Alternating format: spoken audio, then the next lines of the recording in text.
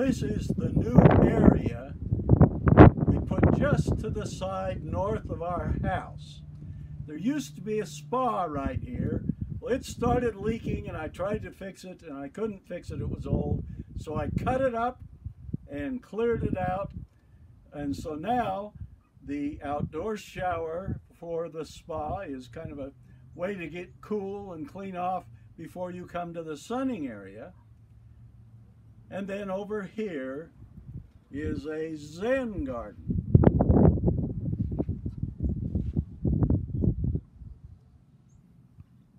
Mm-hmm.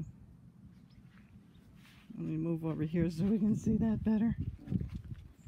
I can get out of the picture now.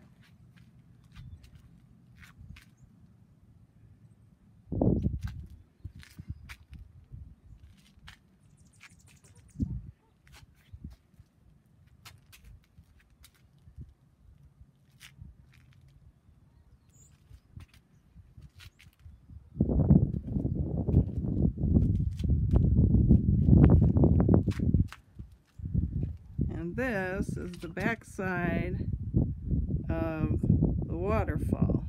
All those rocks came off our land Yeah, and Ken lifted and carried and placed all of them. and rolled. Yeah, the ones that were too heavy. I'll quick come out to the front side of the waterfall. We don't have the waterfall actually going at the moment. And then the pond.